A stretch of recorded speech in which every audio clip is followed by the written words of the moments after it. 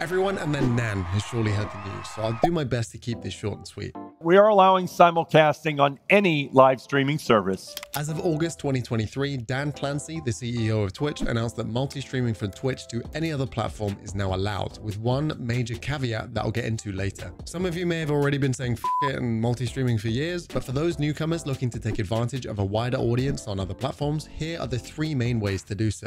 My name is BigWynter, and let's dive right in. I will get to the pros and cons of each method towards the end, but first is one many have heard of already, but it's Restream.io it is by far the easiest to use and already has the option baked into OBS. It requires no plugins or even really any technological know-how. You just need to sign up for a free account and select up to two platforms you want to send your stream to. There is a paid version with a few more features and you can stream to more than two platforms if you wish, but the free one does not have a watermark and is perfect if you're looking to stream to Twitch and another platform like YouTube or Kick.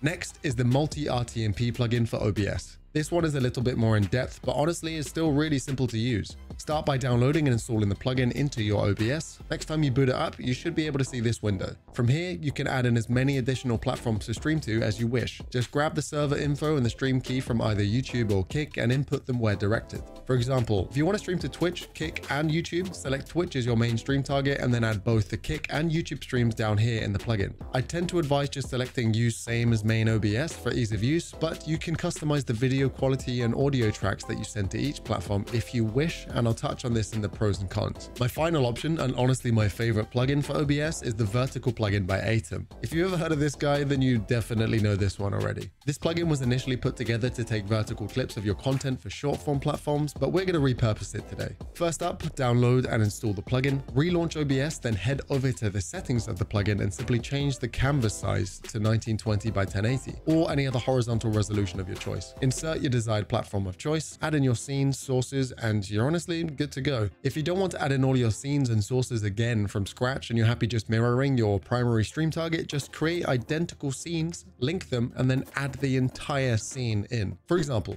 if you have your normal chat scene, make a new chat scene in the vertical plugin, link the two scenes together so they both change when you change scenes, and then add your whole main chat scene into your new Aitum one, like so. This uses far less resources, but it does lack customization.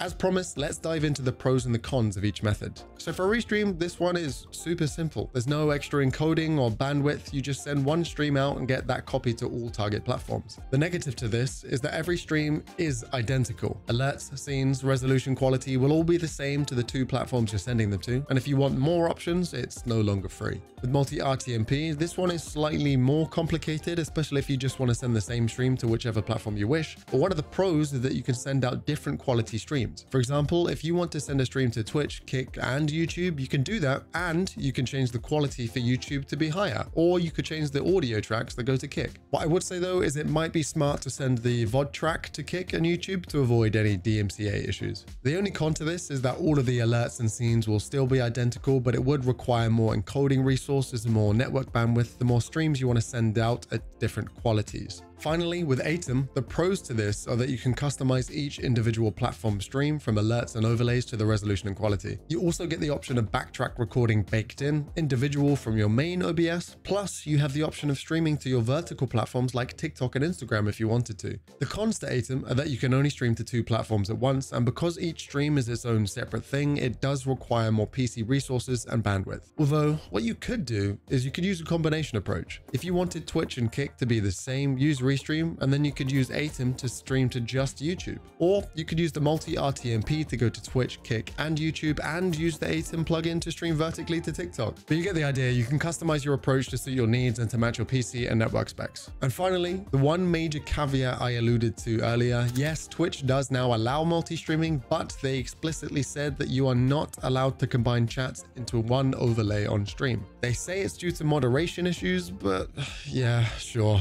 Now this might not sound like a big deal to some of you, but the biggest issue with multi-streaming is that without a combined chat, each stream does feel isolated from one another, and it honestly makes each isolated stream worse than if you were just streaming to that platform. It's like hopping into a conversation late and you can't really tell who the other person's talking to. It's just a bit weird. So honestly, I just say screw it and do it anyway. The combined chat that I use at the moment is by Botrix. It's nice. It allows you to add badges for each platform to differentiate, but you could always just select not to do that if you don't want to arouse suspicion. Harris Heller recently had Dan Clancy, again the CEO of Twitch, in his chat whilst he was multi-streaming with a combined overlay, and there were no issues. So honestly, I think it's fine. For legal reasons though, don't quote me in court. If you want to learn more about combining your chats on screen and within OBS for you, the streamer, let me know and I'll put out a video on what I'm using currently at the moment. I hope this is helpful. Remember to like and sub if you enjoyed. Let me know what you want to see next and much love.